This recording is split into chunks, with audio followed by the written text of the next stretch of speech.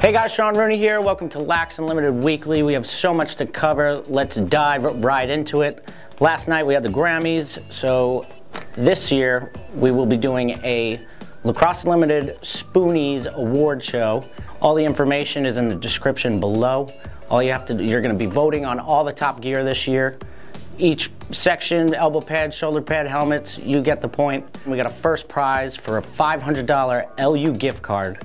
There's a second, third, and fourth and fifth actually award winners too. Big chances to win. All you have to do, click that link in the description and start voting on your favorite gear. Diving into the weekend, we had so much college action this weekend. We had Duke bouncing back after a tough loss to Air Force. They took down High Point and Cleveland State. Denver took down Air Force to quiet them down with a 14-6 win. And the game that always happens and everyone knows is gonna win it already, we had Syracuse and Siena 19 to 6. That was a tough loss for them. Hopkins is 2-0. Big surprise. They beat uh, Navy and UMBC. Game of the weekend by far definitely was Virginia and Loyola.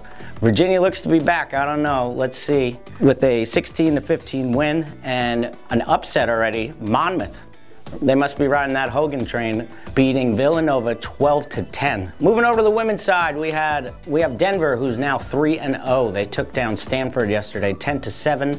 The Florida Gators opened up with the Tar Heels, former champions. Of course, the Tar Heels are still victorious, winning 13 to 10.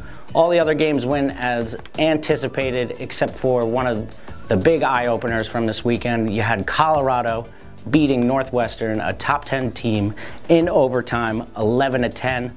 Awesome to see the out west is getting even stronger, which is scarier.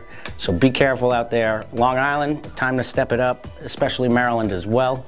After all that, we got the question of the week. We got to pick them for this Saturday. Men's side, big game, Loyola, Hopkins. Hopkins 2-0. Loyola fell short against the Cavaliers. Hopefully they can bounce back. I'm rooting for Loyola, of course. You got USC, a big out west team, ranked number third, playing Northwestern. So hopefully these girls are ready for this. Let us know in the comments below who you got in those two games. NLL, we got Buffalo had a bye. We had Colorado taking down Vancouver in overtime. Captain America, Tom Schreiber, first year NLL rookie, crushing it again with six points. He had the first goal of the game Rush and Crush Rochester 21 to 12. Church and Matthews both had 10 points. That was very impressive. Swarm get back into the swing of winning. Lyle Thompson taking down his buddy Bill O'Brien. Lyle, nice job. 17-15.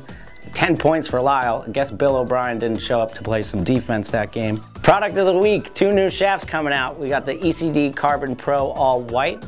Day after that, we have this Stallion side tie releasing as well. Videos later on this week coming out on those two. There you have it for Lax Unlimited Weekly. I'm Sean Rooney. Comment, share.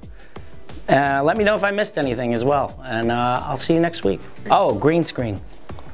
I don't know. Oh, Grammys. Dude, get CeeLo. My new outfit for next week, maybe. This is what I string with. You guys aren't allowed to see it, though. All right, good. Beauty. Cut it. Print it.